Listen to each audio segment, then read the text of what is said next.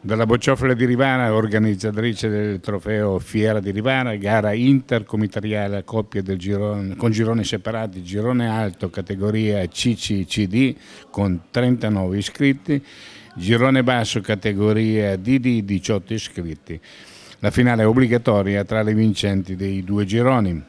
Oltre alla bocciofila di Rivara, per condizioni atmosferiche si gioca anche a Pertugio per quanto riguarda il girone basso categoria DD si gioca a Sanassa e a San Giorgio per il girone alto CCCD.